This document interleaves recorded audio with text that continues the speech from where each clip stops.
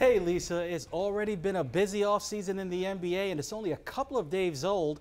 The biggest free agent prize has found his new home and it seems like the rich are getting richer. Kevin Durant signs with the Golden State Warriors. Durant making the announcement today on the Players Tribune website. It's a reported two-year deal worth over $54 million. At the U.S. Open today, Serena Williams facing Johanna Larsson of Sweden. First set, Serena already leading 5-2 and watch as she scorches the winner right down the line. That won her the first set. She needed just an hour to win the match 6-2, 6-1. New Year's Day means the annual Winter Classic. This year, the venue was Gillette Stadium up in Foxborough. It was the Montreal Canadiens and the Boston Bruins. Always cool to see the football stadiums transform for hockey. Second period, Montreal already up 2 zip. Brendan Gallagher knocks the puck out of the air and in the goal.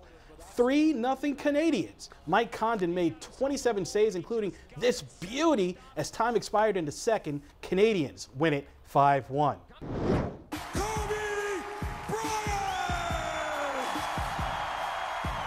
Soon to be Hall of Famer Kobe Bryant playing in his last NBA All Star game. And like in most All Star games, defense taking a night off. Kyle Lowry to Dwyane Wade to LeBron James. Nice. Kobe getting into it. Look at the roll he gets on his first shot of the game. Out, in, out, and in. Kobe likes that. A night to remember in the NBA.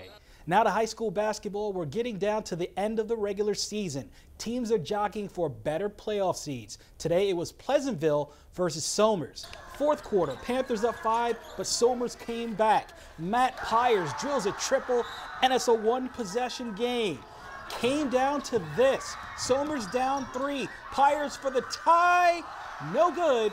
Pleasantville hangs on to win it 58 55.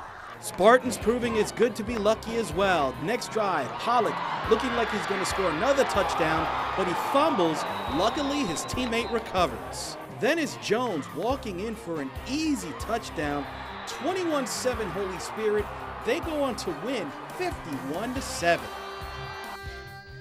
Smash and dash were lethal for the Spartans. Nigel Jones ran the ball 25 times and scored four touchdowns. His counterpart, Dante Pollock, rushed for 235 yards and three scores.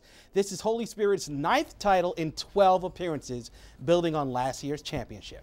Brian? Chris Jacobs, excellent job. Tough to stop. Smash and dash right Can't there. stop them. The Mets played late last night here in New York. They flew to Cincinnati. They got to bed around 3 a.m. and they still beat the Reds this afternoon. And this guy, Matt Reynolds, got no sleep. He homered in the third inning. Last night, he flew from Salt Lake City to Boston to Cincinnati, rested for like an hour, hitting home runs. The news not so great for the Mets. Before yesterday's game, they learned that Matt Harvey will have season-ending surgery. Then Yoenis Cespedes left the game with a strained right quad. And then Noah Syndergaard with issues. He left the game in the fifth with what he's calling arm fatigue.